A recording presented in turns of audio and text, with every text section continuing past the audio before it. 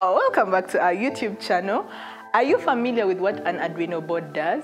Do you know how to connect it? Do you know how to program it? Well, to answer all those questions, watch our previous video. Tap the link up here or here, up here, and watch that video because that video will help you understand this week's video on traffic lights. Enjoy! Hi, welcome to this video, which is a continuation of the Arduino series. In the previous video, we learned about the Arduino board, we learned how to use the software, and we learned how to connect the two of them to your computer. And then we did a small test program. We did not explain what's going on within the program, but we did a small test program to turn a light on the board on and off. And that showed us that our board, the Arduino physical board, was communicating to the software on the Arduino. In today's lesson, we are going to be extending that functionality outside of the Arduino board. We'll be connecting some very simple lights to the Arduino board and using a breadboard and LEDs. LEDs are light emitting diodes. If you don't know what either a breadboard or an LED is, please make sure you watch our very simple introduction to electronics video that will give you an oversight of what we are looking at. So let's get started.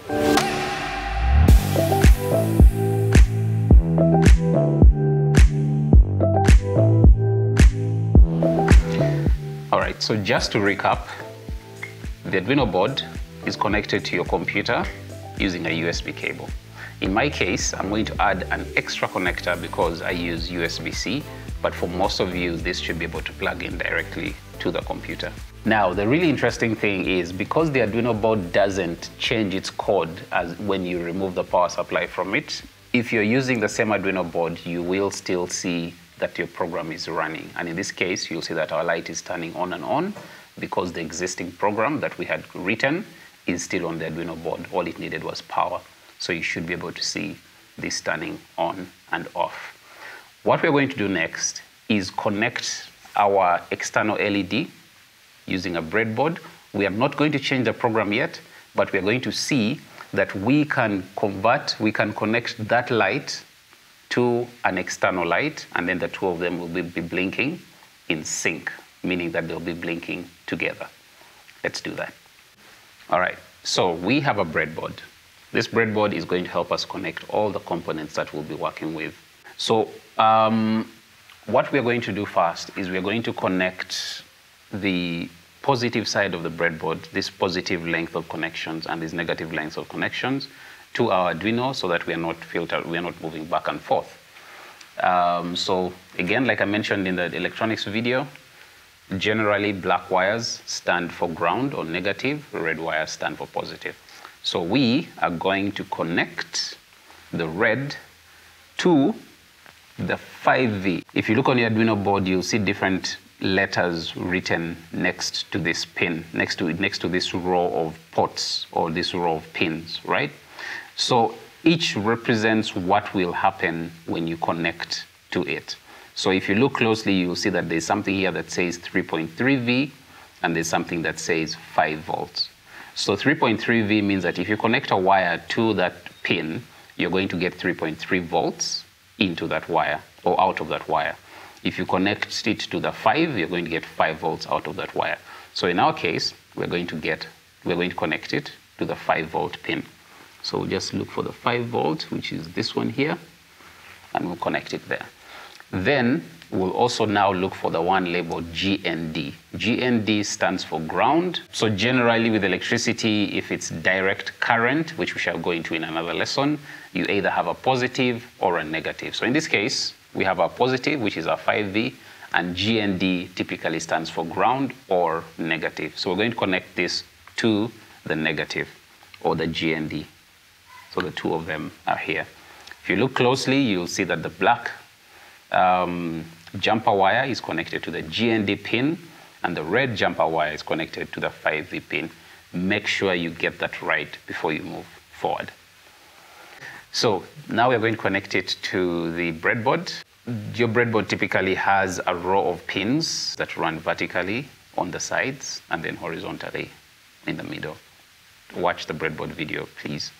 Um, so we'll use this first line that's marked positive, your breadboard might not have the markings, but just know that as long as you connect it to the first outer one, then all the pins in the first outer one will be connected to that positive.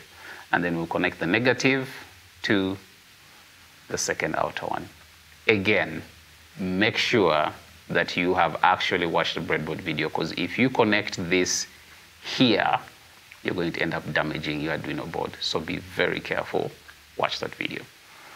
So now that we have that, we have a power supply coming from the Arduino board to the breadboard, and anything that we connect to these two outer rows will be connected to either the positive or the negative of the Arduino board. So next we're going to connect our LED using a resistor. The resistor is purely to protect the LED. It's good electronics practice to always protect your electronics components. Um, so in this case, we are going to connect it from the positive um, row and we shall connect it to one other side of the breadboard and then we shall connect our LED to that side of the breadboard and then connect it back to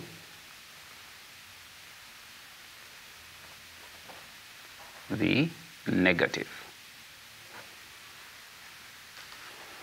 So in this case, we now have confirmed that we have a steady power supply. So what we have done is we've connected this directly to the negative and the positive that's coming out of the Arduino board. We haven't yet connected it to this light here that is blinking. Now, before we do that, we'll talk a little bit about Arduino pin. All right, so we're going to take a minute to talk about the different pins on the Arduino board, and we'll just use a schematic. So this is a very reduced version of what the Arduino board looks like. Um, you have your power supply here, you have your USB connection here, you have your reset button here, and again, we covered all of this in the previous video.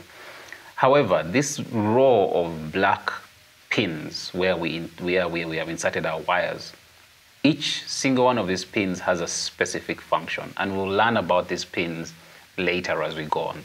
But right now, I just want us to focus on a few of them. The first is the ones that I mentioned before, the 3.3 volts, the 5V, uh, the ground. You have two ground supplies, and then you also have another 5V. Um, but for now, what we've connected our pins to are the power supply, the 5V, so that we get positive 5 volts, and then to the ground, where we get a negative um, uh, connection to the power supply. On this other side, you have digital pins, right? We're going to focus on the digital pins for now. So you have pins labeled 13, 12, 11, 10, 9, 8, all the way to 0, right? So pin 13 is directly connected to this light. You remember the light that we turned on and off? So pin 13 is a connection to that specific light. So everything we connect to pin number 13 will behave the same way as this light that is on the board directly. It, the light is on the board because it's a good way to test your Arduino board without having to connect anything external. It's a good way to make sure that everything is working. But in case you want to connect something external that behaves the same way as the light on that board, you connect it to pin number 13. So coming back to our board, Previously, we had connected this side, which is basically negative, because remember that this resistor here is coming from the positive of the Arduino, going into the resistor, going into the LED, and then coming out to the negative here. All right, so that's a direct connection to the Arduino power supply. However, if we want to connect it to this LED, one thing that you have to remember is that all of these digital pins get a positive power supply. So that means that anything you connect here must be on the positive side of the electrical circuit, which means we need to readjust how this resistor is connected. Okay? So we're going to disassemble all of this again. So what we're going to do is that now we're going to move the resistor from the positive side. Again, remember that resistors don't really care in which in which area of the, of the circuit you put them in, as long as they're right next to the component that they are protecting. So you can connect it to the negative side of the LED or the positive side of the LED. So in the first instance, we are connected it to the positive side of the LED. In this case, we're going to switch it to the negative side. And we are doing this so that we can connect the positive side of the LED to pin number 13. All the digital pins give out a positive signal, which means that the other side of the component has to be connected to the negative signal. So now we're going to connect the resistor to the negative and then put it into this section of the breadboard. And then we'll grab our LED connect it like that. And just to test we will get this other side of the LED and connect it to the positive so now that's fine we have this side of the resistor coming from the negative of the Arduino board going into the negative of the um, LED and then on the other end, we have the positive that's expecting a connection to the positive signal. When we connect it directly to the power supply, it lights. Now, we are going to connect to pin number 13. Again, remember that pin number 13 is positive, so make sure you've understood that step very well. If you haven't, please go back and just rewatch it again. So we look for pin number 13, and it's right here. And now we see that our LED is blinking in the same pattern as what's on the board. So just to test that everything is fine, we are going to adjust our code again to make sure that this pattern by this big LED on the breadboard is following the same pattern by the small LED on the Arduino board. All right, so let's look at our code again, um, just to make sure that we have a good connection, and also just to show you that whatever code we change here will affect this LED and this LED at the same time. So again, we are not yet quite describing what's going on in our code. We're just changing a couple of things. Um, so first thing I need to do is make sure that the Arduino board is actually connected. So we look at the port. It is connected to port 7. It's been recognized. Then we look at the board itself. It is still Arduino Uno, and that's fine. So we have everything that's running. Um, let's change the um, program to let's do let's change this delay this figure to 50 and this figure to 100 again we will explain what's going on in this a little bit later. So we upload and then we watch and see what's happening and now we can see that our light is blinking much faster but the two are blinking in sync. And that's simply because pin number 13 is getting the exact same signal that's going to the board and bringing it into our LED. So um, just to confirm that again, we are going to do another pattern. We'll change that to 200 and change this to 1000. Click upload and see. So now we have a different pattern. So your Arduino software is communicating very, very clearly to the Arduino hardware. And now you have external devices or external components running off of the Arduino board. So this is actually the very, very first step. Blinking an LED externally is the first step of learning how to connect external electrical components to an Arduino board. You can extend this to control almost anything that you can conceive. You can use it to control electric motors. You can use it to control lights. You can use it to control um, switches. You can use it to send and receive signals. What you have done at this stage is understand that the Arduino system can control external components. Obviously, the more complex your electronics projects get, the more things you'll need. But generally, this is the first step to understanding that the Arduino board can control um, components externally. So we are going to go a little bit into the code just to understand what's going on. So let's talk a little bit about what's going on in the software. And I'm going to explain the example that we've used and then dive a little bit deeper into how you can write your own code without having to edit examples all the time. So every time you go into the Arduino environment, you can open all sorts of examples. This example we are using for this to turn this light on and off is called the blink. You find it under basics and blink. So it will, it will present the exact same code that we've been using. You can look at all sorts of example code once you get more advanced, but for now the example code we're looking at is blink.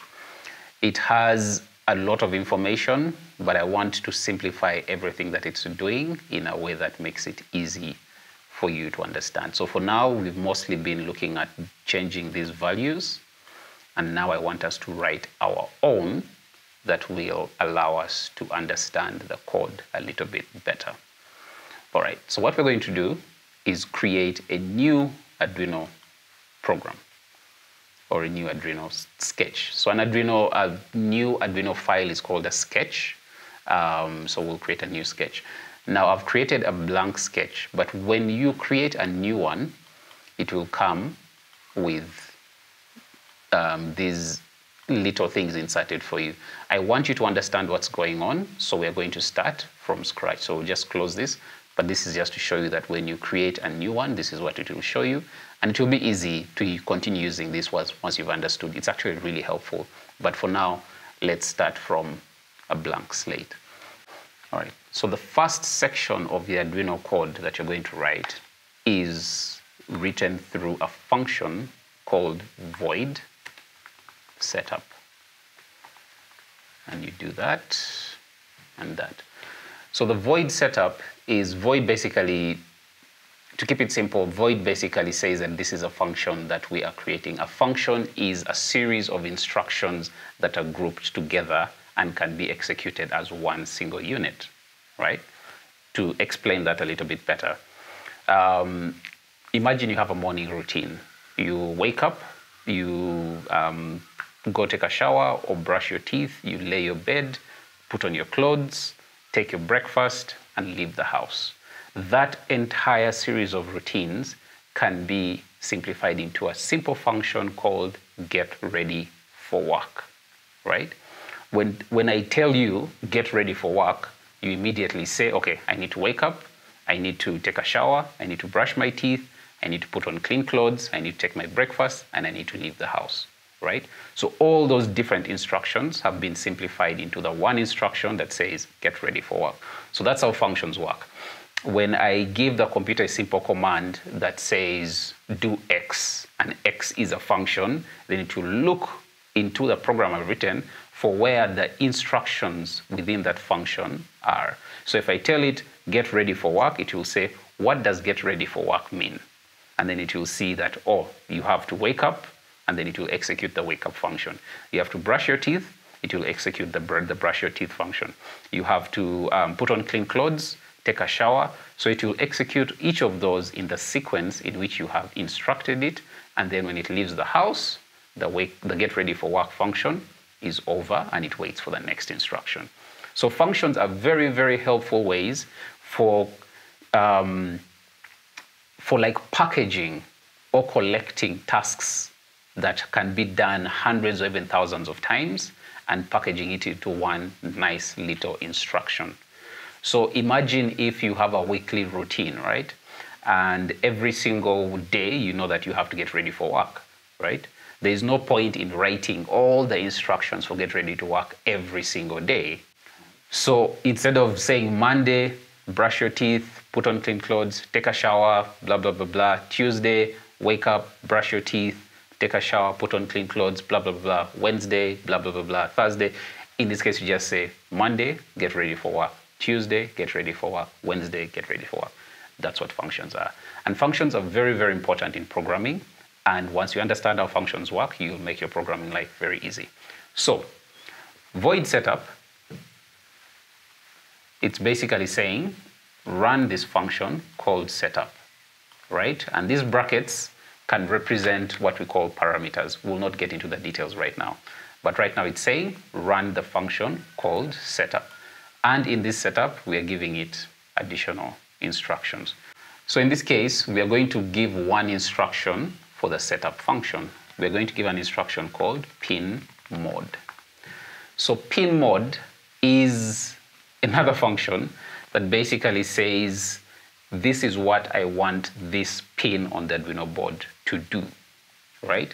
I want it to have this mode. So typically pins on the Arduino board can have two modes primarily, either an input, meaning that it's receiving signals from an electronic device, or output, meaning it's sending signals to an electronic device.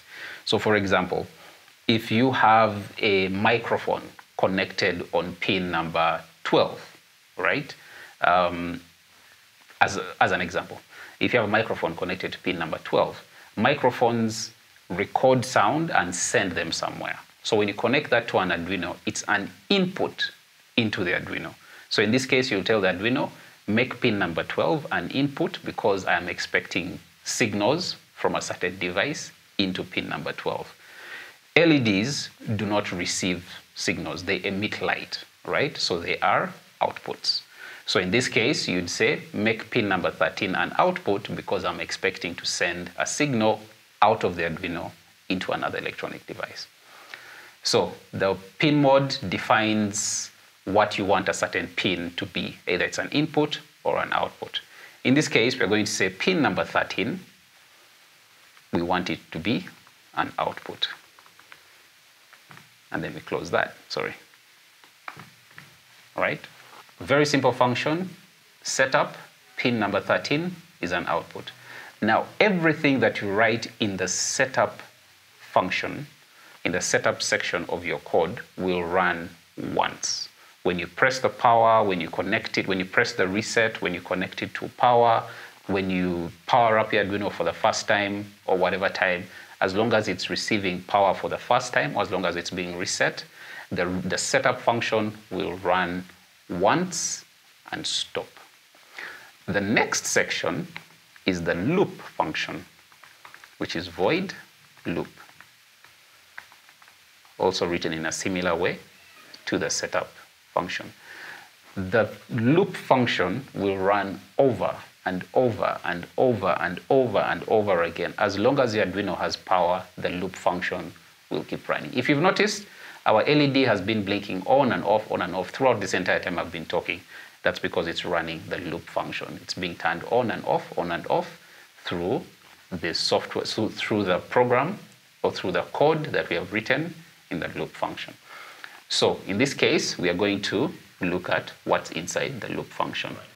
So for the loop function, we are going to write a very simple command that says digital write. So digital write is a command that basically tells the Arduino that I want you to write or to send a digital signal somewhere. So digital write is basically telling the Arduino, send a signal or write a signal somewhere. And we're going to see where that somewhere is shortly. So in this case, we're going to tell it, write a digital signal to pin number 13 and make it high. All right? So we have said we want you to take pin number 13 and send a command to make that high, right? Now, digital versus analog, all right? Keep it simple again. Digital signals are typically two values. It's either on or it's off. It's either a 1 or a 0. It can be 0, 1, 1, 1, 0, 0, 0, 1, 1, 1, but it's either a 0 or a 1. So think about it as a light switch. When you switch on that light in your house, the light is either on or off. You're not going to have it half dim, half blah, blah, blah. It's either full or nothing. However, if you look at the sun, the sun rises and sets, right? So the brightness of the day increases with the position of the sun. So you'll have zero when there is darkness at night, and then you'll have 100% when it's at the top of the sky at noon, and then it goes back to zero. So at any given point in the day, it's somewhere between full brightness and darkness. It can be 50% brightness, 30% brightness, depending on the time of the day. So that's what an analog signal looks like. Its value changes over time in a certain manner, right? Again, digital is either on or off, zero or one. Analog can be anything from zero to 1000. It can be 30, it can be 40, it can be X, Y, blah, blah, blah, whatever it is. So in this case, we are writing a digital signal, which means it has one of two values. It's either high or it's low. And we've told pin number 13, We've told it to make pin number 13 high. So let's upload this code and see what happens to our LED. Click upload. It's asking us to save again. Um, we'll just give it a name.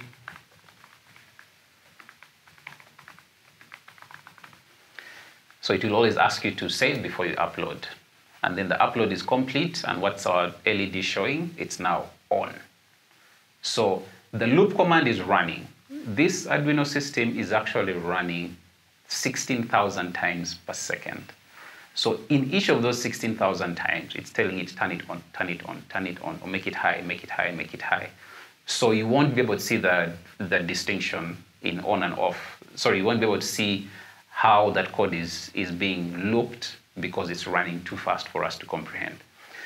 We can sort of visualize by telling it to wait, right? Which we, which we call a delay function, um, but we'll come into the delay function later. So the next thing that I want to tell it is to turn it off, and you're going to see something very, very interesting. So we're going to do digital write. Again, same command, send a digital signal to pin number 13 and make it low this time. We close that command, we close that, that code, the section of code, click upload, and what do you see happening to our board? There's actually no change. It's still on. Now, this is what I was explaining a few seconds ago. This software is running 16,000 times per second, which means it's actually being switched on and off 16,000 times. But you can't see it because it's too fast for our eyes, right? So the way that we can sort of slow it down is by telling it, hold on, wait for a few seconds, or wait for a few microseconds, or whatever you want, and then um, keep going. So we'll just add, after it has turned it on, we'll tell it, um, we'll tell it wait, and to make it wait, we use a delay. We call we use a command called delay, and then give it a number. So the delay is basically measured in microseconds. So if I do, sorry, milliseconds. So if I do 1,000, I'll be telling it delay for 1,000 milliseconds, which is the equivalent of one second. So I upload this again, and let's see what happens. Again, nothing is happening, right? This, who, if, if, if, if you can guess, just drop, uh, drop your answer in the comments, and we'll see if you get it right. Um, but what's happening is that it's turning the LED on and then waiting for one second and then turning it off. But then it's immediately going back to the beginning of the code and it's turning it on again. So we are not giving it enough time we are to, to allow us to see that it's actually been turned off because it's moving too fast. So it's going here, turning it on, and then waiting for one second, turning it off, and then because it's going 16,000 times per second, in a 16 thousandths of a second, it's going back up and turning it off. So let's tell it to wait again after it has turned it off. So again, we do a delay, 1000, and now we are telling it, turn it on, wait for one second, turn it off, wait for one second. And then we upload this.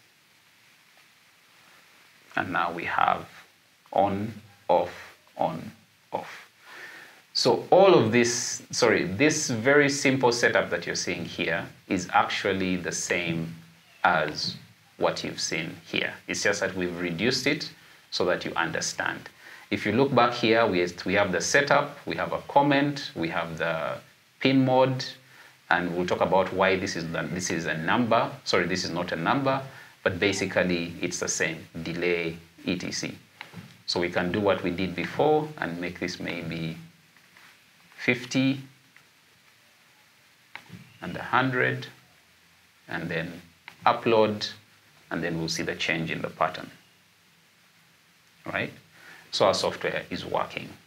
The other thing that's happening in the example code that we looked at, um, something called comments. So a comment is actually really helpful when you're learning how to program, or even when you're professional programmer. Comments help you understand what's going on in the code, whether it's written by you or someone else. but it also helps you remember things that you might have forgotten. Because sometimes you write a program and then three years later you come back to it and you don't even understand what's going on. So Arduino has a most, if not all programming languages have a commenting system and it varies depending on the language. For Arduino, if you want to write multi-line comments, multi-line comments basically means that you write a comment that can run across multiple lines. You start with a slash, then a star, and then write. Um, this is a multi-line multi-line comment. The minute you press enter, Arduino sort of helps you by ending that comment. So it will make the provision for ending it. But one thing you'll notice is that before this comment ends, you'll see that everything has turned gray, including the comment that we had, in including the code, the actual code that we had written. That is because Arduino is assuming that everything that starts, everything that follows this slash star is a comment because we've given it a multi-line comment. So any line, you can put whatever you want in here. It will be ignored because it assumes that everything is a comment, right? So to end it, you'd have to put a star and a slash, which is the reverse of what happened. And as you can see, our code now has come back to its normal colors. Um, Arduino is very helpful. When you start writing a multi-line comment, it will automatically end it for you. So if I do a star, a slash and a star, and then I press enter, it will automatically finish it for, for us. Because sometimes we forget about these things. So this is a multi-line comment. If you want to do a single line comment, and again, multi-line comments, you can write an entire paragraph or a thesis on this. It won't, it won't matter. As long as it fits, it will just ignore it. Um, if you want to write a single line comment, you just use a double slash. This is a single line comment. And then it will just allow you to write the rest of the code. So you'll see the difference in how you know, this, is, this is written. So again, we'll just um, delete this and we explain what our single line comment is. Um, so this is version one of our um, LED blinking code written by Solomon King at Fundi Bots, etc., whatever. And then we can do a single line comment before the void and say the void, the setup function runs once when the Arduino is reset or powered up, right? So you'll see that what I'm doing is actually replicating what's going on here. So there's a multi-line comment that had everything that was about the code and then also the setup. So we can keep doing that over and over, but you kind of know the basics. You can explain whatever it is you want to explain later on. So now we are going to go back and do the last part of this um, uh, exercise. So if we upload this, we'll just notice that nothing changes in our code because the only thing that we've added are the comments. So now we're going to do a simple traffic light system, which is basically adding three different lights. We have a yellow already, we're going to add a green, and we're going to add a red, and we'll program those three together. Um, so what we're going to do is we're going to get three more connections from the outputs or from the digital pins of the Arduino, connect them, and then control them using the software. So now we need to first do the connections and then write the code. So to recap, we have power coming from the positive of the Arduino going into this positive line, which at this point is not really necessary because we are now getting positive from the pins. So we can simplify this by removing this positive. And then you see it continues to work. That's because the positives, the positive um, power is now being received from the pin that we have described as an output, so we don't need this. So now what we have is the negative or the ground coming from the Arduino board going into the breadboard on this rail here or on this, this uh, series of connections, going into the resistor. The resistor is connected to the negative side of the LED and on the positive side of the LED we have a wire going into pin number 13. So in this case we are going to choose two additional pins. We'll use pin number 12 and 11 and connect it to these three to these two additional LEDs. But we need to protect every single LED that we have. So we're going to need two additional resistors. Now, we will do the same pattern that we have here. We'll connect one side of the resistor to the negative and then to the other um, section of the breadboard. We'll get our LED um, is it red, green, yellow? I think yellow is in the middle, right? Um, so we'll just uh, we'll move this yellow from here and put it here. And then we'll put the green here. Right, so the green is a little bit dim, but I hope you can see that and then for the third one and then we'll get um, we just need to complete this. So to make this simple let me first do them two at a time. Uh, sorry one at a time. And then we'll get this negative sorry this positive from the other side of the yellow um, LED and connect it to pin number 12 so nothing is happening for the yellow LED because we haven't told Arduino what to do with the yellow LED. So let's very quickly tell Arduino what to do with the yellow LED.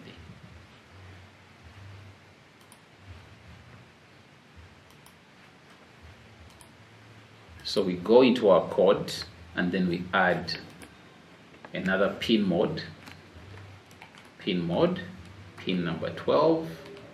We define it as an output and then we can do the same thing here digital write pin number 12 make it high. And then next to the one for making it low we'll do a digital write pin number 12 and make it low. Just to recap we've now told it that pin number 13 is an output meaning it's sending signals to something. In this case it's the green LED then we've said pin number 12 is also an output, and the way we've connected this, it will send that output from pin number 12 to the yellow LED. And then in the loop, we are saying turn pin number 13 high, then also turn pin number 12 high, wait for 50 seconds, 50 uh, milliseconds, then turn pin number 13 low or switch it off, and turn pin number 12 low or switch it off, and then wait for 100 milliseconds. So let's test that. We have an issue. All right, so we have an error in our code because we did not call, we did not close off this, um, this line of code with that semicolon. These semicolons are very, very, very important. Do not ignore them. They basically tell the, the Arduino software that this particular line of code has reached its end. Let's move to the next line. So because I hadn't told it that, it was now trying to interpret these two commands together and it wasn't making sense. So we upload again. And if it works, now we have both our LEDs turning on and off at the same rate because we've given it the same command. Now the green LEDs are a little bit dim. Some of these LEDs have different energy requirements, so it's not a reflection of your code, it's just how the LED is physically designed, and there's nothing you can do about that except maybe to remove the resistor, but so that it gets more energy, but we don't want to do that. And then we'll get the final one, which is the red one. We'll do the same thing, connect it to the negative. And this is really where the advantage of breadboards come in, because now I know that just this one wire from the negative, because I know it's connected to every single pin, every single hole in this row means that I can just keep connecting things to it. I'll do that. And then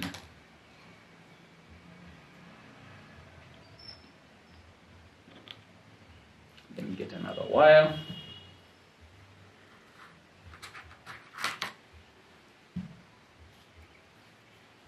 Time we'll connect it to pin number 11 on the breadboard and then put it here. I really cannot stress how important it is that you understand how the breadboards work because if you make a misconnection, you can damage your very expensive Arduino board. So please understand that. So then we'll come back to our code. Right now, again, the red is not blinking because the Arduino doesn't know what to do with pin number 13, sorry, pin number 11. So in this case, we'll tell it again. Pin number 11, pin mode, is that it should be an output. So now the Arduino knows to send a signal through pin number 11. And then we'll do another digital write here. Do 11 and tell it turn it high. Close off that line of code. And then do a digital write here pin number 11, turn it low, close off that piece of code, upload, and now we have all of our three lights blinking. So voila. If you have reached this stage, you have essentially connected three different electronics components to an Arduino board, and you should give yourself props. Now, one thing that you might notice is that you might find that your LED is not working even though you've connected it properly. That is because LEDs or light emitting diodes are polarized. If you don't know what polarized is, go watch our electronics video. They are polarized, meaning that they only allow current to flow a certain way, electrical current to flow a certain way. So if you find that you have one of those issues, it might be because you've connected your LED the wrong side. So just grab it, flip it around, and it should be fine. So now we have the foundation for building our traffic lights. You have a red light, a green light, and a yellow light that's turning on and off. So traffic lights, typically you'll have the red for like maybe a few minutes, and then the yellow as a warning, and then the green for go. So you'll have maybe two minutes for the for the red telling everyone to stop, and then yellow as a warning that get ready to either stop or go, and then the green telling everyone to go. So you can have two minutes on red, 30 seconds on yellow, um, then maybe two minutes on green, depending on how your traffic is flowing. So we're going to write a very simple variation of that. In this case, we're going to turn the, we're going to start with green, says go for, for, one, for one second. Actually, we'll say go for, yeah, one second. And then and then yellow as a warning for half a second, and then red to stop for one second. So, um, now, this is where we have something that we're going to add that's called a variable. Right now, you have to keep remembering it's pin number 13, the red one, the green one, the yellow one, and because you're not sure, you might keep mixing them up. So what we're going to do is add something called a variable. A variable is just a simple giving a convenient name for something complex. Um, so a good example of a variable is a human name, right? So we have in our studio right now someone called Michael, someone called Debbie. If we wanted to refer to Michael, we'd know that Michael's name is Michael. Otherwise, we would be saying, please call if, if I wanted to send someone to call Michael, I would say, please call that small, skinny guy who wears dreadlocks and wears glasses and works in the production um, section of Fundi Bot. But when I say call Michael, everyone knows exactly who Michael is. I don't have to describe Michael physically. So Michael, the name, is a variable for something. So it's a convenient way to refer to something in programming, variables are really, really important because you can get a huge amount of information and just assign it one name. And once you refer to that name, it will be easy for you to, uh, it will be easy for the software to understand that this name represents this other thing. So in this case, I don't have to keep remembering what pin, what, what LED is connected to what um, pin. I just need to define it earlier and say, if you want to light the green LED, just say green LED as opposed to trying to understand where the green LED is. So just to recap, a variable is a simple way to store a piece of information or data or something and refer to it in a very convenient way. So variables typically have three main things. They have the name of the variable, the type of the variable, and the value of the variable, right? So um, in this case, we are going to very, uh, I'll, I'll, I'll explain as we do this. So in this case, we're going to do, and variables can be written anywhere in your code, um, but try and keep things simple. In this case, we're going to put it just before the void so that it runs before the rest of the program. Um, so we'll do an int. So int basically means that the type of variable is an integer, right? And then we'll do, we'll just give it a name. So variables can be named anything you want as long as that name doesn't, is not being used by the software for something else. So for example, you cannot write, you cannot create your own variable and call it pin mode because it will tell you, no, pin mode is being used for something else. So in this case, we'll just say um, int green LED, in which green LED is the name of our variable, and then we'll assign it a value, and we'll say green LED is actually pin number 13. Simple as that. So you have the type of the variable, which is an integer. We won't go into the details, but for now, just know that the type of the variable is an integer, which means it's a number. The variable type is a number. The name of the variable is green LED, which is something we have chosen, and then the value of that variable is number 13. So now anywhere where we want to refer to green LED, without having to um, remember what number it was, etc., as long as it was written here, that program will know that as long as you see green LED, just know that green LED is pin number 13. So just copy this, and you'll see how convenient variables get very, very shortly. We'll copy this and put it here, put it here, and put it here. So now we have the next command that says pin mode green LED is an output. So the minute the program sees green LED, it will ask itself, what is this thing called green LED? Then it will go back up and say, oh, green LED is actually pin number 13. So everywhere it sees green LED, it will automatically replace it with 13. So let's test this and make sure it's working. Nothing should change in our software and in our hardware because it's interpreting it correctly. So as you'll see, everything is fine here. So then we'll create variables for the rest. We'll say um, yellow LED is pin number uh, 12. And then red LED is pin number 11 and then we just copy this place it here and then copy red.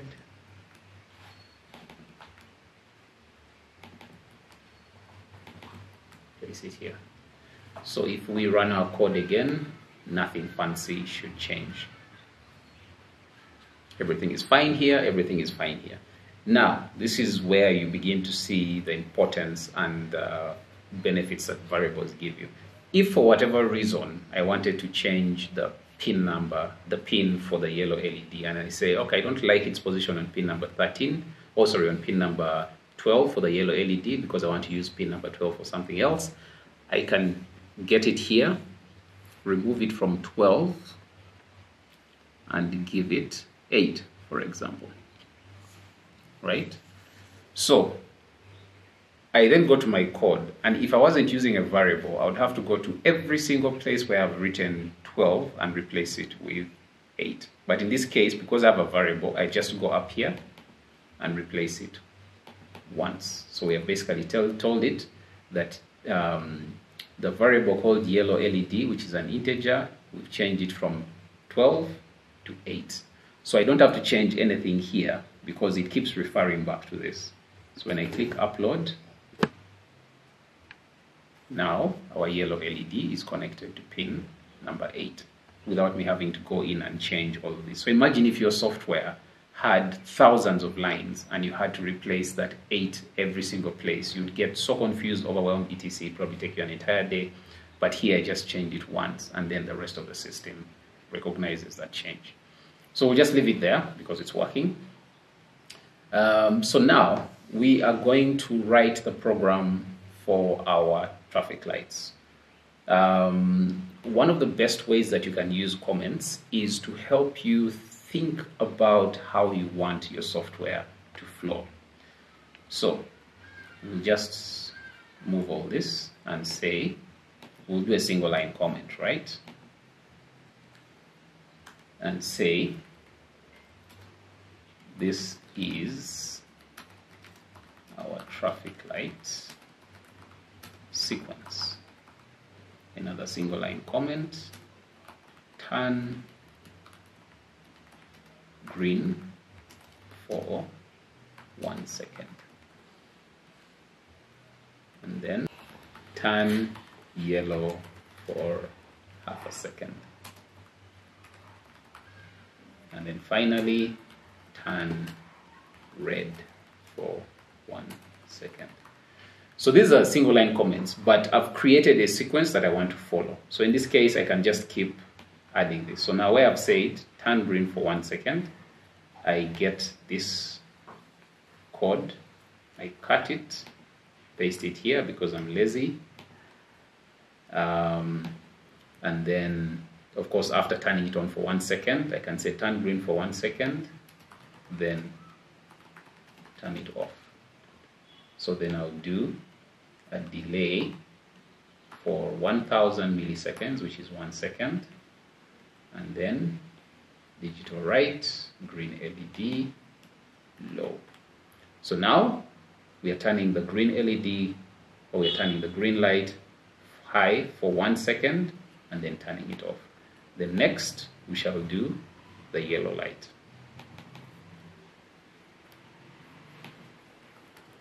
So turn yellow um, for half a second. So digital write, yellow LED high, then we wait, delay for 500 milliseconds, which is half a second, and then digital write. In case you're confused, I'm just copying and pasting um, what I've already written. Then turn it off. So you can you can create spaces. These spaces won't really affect how your code runs. It's just really good for organizing. What it's going to follow is this. And then finally, we turn the the red and then delay for one second and then do another digital write and then turn it low. Um, yeah, that looks good. So we'll just delete all of this because it's not really important at this stage. So we'll just run through the code again. You're turning, this is our traffic light sequence. We're turning green for one second and then turning it off. So digital write, green LED high, wait for one second, digital write, green LED low, and then immediately green um, digital write, yellow LED high, then you're turning it on for half a second, delay for five, uh, 500 mil, microsecond, milliseconds, and then digital write, yellow LED low, then now the stop sign, uh, turn red for one second, digital write, red LED high, delay 1000, digital write, red LED low. Let's test our code and see if our traffic light behaves the way that we've programmed it. So we upload, and it's working. So we have this on for one second, green, and then the yellow for half a second, and then red. So just to make sure that we are seeing this a little bit better, let's do five seconds for green, um, two seconds for yellow, and then five seconds for red. So in this case, we are saying release the traffic using the green light for five seconds, give a warning sign for two seconds, and then give and then stop them for five seconds. So we upload that. Now we have the green. One, two, three, four, five. One, two, one, two, three, four, five. And then it switches back. Simple traffic light. And it works. So if you think about an Arduino system, this, this is very rudimentary. You've gone from controlling a light on the board itself to now actually controlling three separate lights and creating a very basic rudimentary traffic light system.